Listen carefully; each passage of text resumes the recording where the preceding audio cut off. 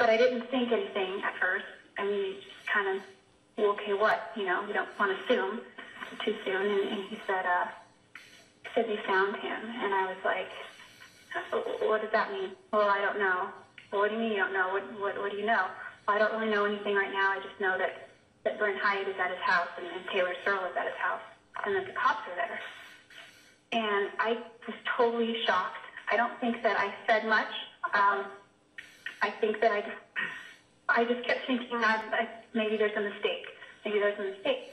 Are you sure? And he didn't really know, so I kept faith that maybe there was just a mistake because he couldn't say anything.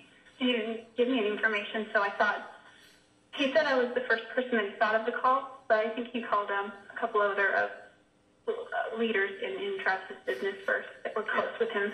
I don't remember who he called or what order, but he called me, and uh, I keep thinking that maybe there was that they just made a mistake, and like I felt so helpless because I wasn't there. If I still lived there, I was before I was like ten minutes away, not even ten, maybe seven minutes away. I could have just driven there, but and found out and, and saw what was going on. I just felt totally helpless.